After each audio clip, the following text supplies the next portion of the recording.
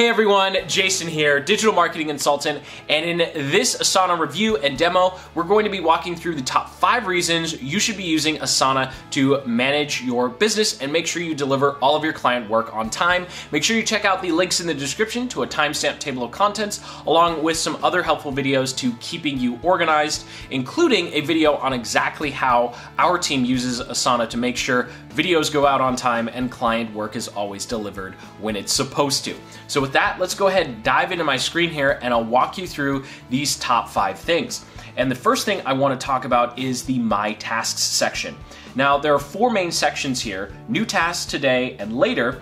And as I open each one of these up, what's great is everything that is assigned to you on all your projects and all your tasks, even if you have multiple organizations or you have multiple clients who use Asana, everything is right here on this page. It's very, very powerful. So when something's initially assigned to you, which happens a lot for me, it'll show up in new tasks and I'll be easily be able to click through and see the details of what needs to be fixed if there's anything that's been attached, as you can see here, there's a file that's been attached. It's very easy. It integrates with Google Drive, Dropbox, Box, and I'm sure there's there's a much long longer laundry list of things that it integrates with. You can of course click and drag files directly to the individual tasks. But what I really like about this is we can click and drag it and to say, okay, we're going to work on it today, or we can come over here and mark it for upcoming or later. So if I mark it for upcoming, maybe it's going to be done tomorrow, I can scroll down to the upcoming section and you'll see that account access has now been moved to upcoming. Now something that I've personally done inside of my upcoming section is I've created Monday, Tuesday, Wednesday, Thursday, Friday because what Asana does in this is anything that's due within a week will automatically show up in your upcoming section so it's very easy to see what tasks you have on deck so you can easily plan your week. So I'll scroll back up here. You can see account access is due tomorrow, so I'll take care of it tomorrow. I'm recording this on a Tuesday, so I'll click and drag and create it for say that I'm going to take care of it on Wednesday.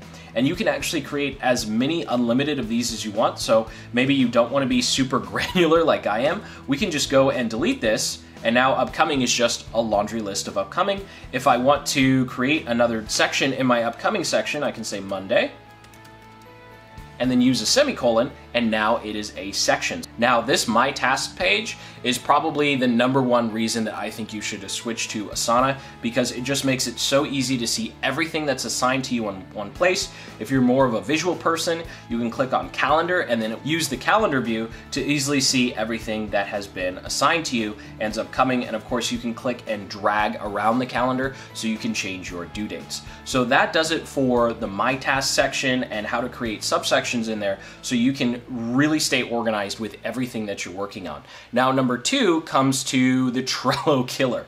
And this is something where you can now actually have the ability to create boards inside of Asana just like you can with Trello. So I just pulled up an example here. I personally don't use boards. I'm not a very visual person. I like the long to-do list. But as you can see from this example, you pretty much have all of the functionality you would have in Trello inside of Asana. So what's also really great is you can actually have the same task inside a board like this and inside of a list as well. So if you have people on your team who like seeing it visually like this, or you have people on your team who'd rather have it in a list style, you can actually do the same thing because tasks can be in multiple projects.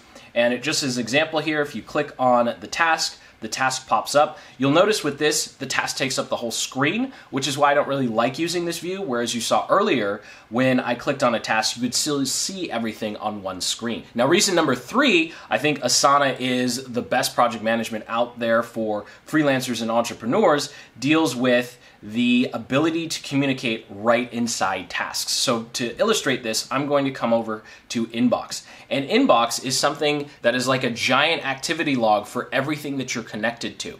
So it will tell you when projects have been completed, if you're following a particular project, and it will also tell you if there's been a comment on a project. So if I scroll down here, someone on my team has commented on the YouTube video ad rank test that we're about to do. So I can click and read through the content, or if I need to respond to the comment, I can click on the actual task, I can scroll down to the comment section and say, hey, and then you can use the at name and type in the team member so that it shows up in their inbox this looks great, let's do it. And then when I click comment, everyone who's following this particular task will be notified that I've put a comment.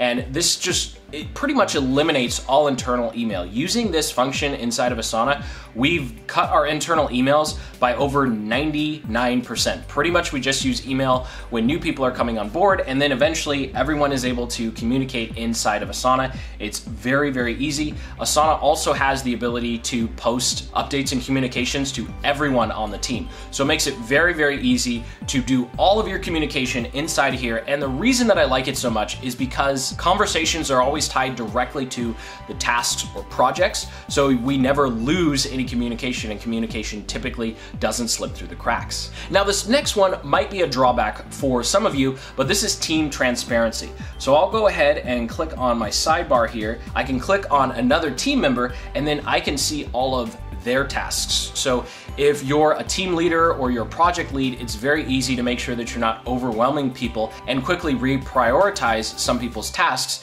if they have been overwhelmed or you need to switch around due dates. It's very easy to see everyone here. So everyone on my team can do that to me and I can do that to pretty much everyone else on the team as well. So I see that as a huge plus because it adds transparency to the workplace and it kind of removes the typical top-down structure and I think it's just a great way to encourage a lot more collaboration. Now, the final reason I think Asana is awesome for you as an entrepreneur, freelancer, or business owner deals with the organization. Now, I tend to be quite OCD and I'm extremely granular with how I like to organize things. And Asana over delivers in this regard. So I'll go ahead and click on my new task here that's onboarding. So what's great is you can have projects and then you can have tasks and you can have subtasks, you can have sections, and you can have even more subtasks. So to illustrate just how granular you can get, let's go ahead and go through this template for onboarding a new video editor. So I've done the first part, which is hiring,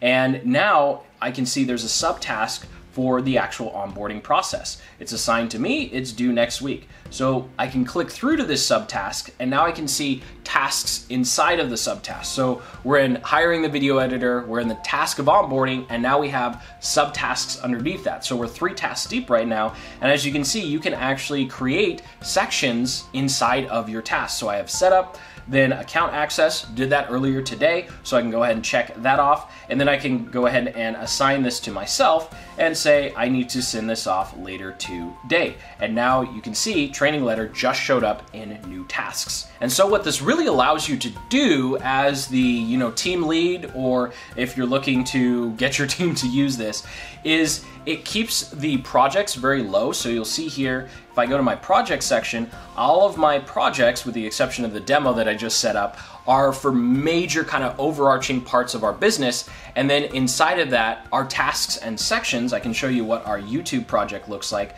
There's different sections and tasks and subtasks allow us to stay extremely organized without having 20 different projects on the side.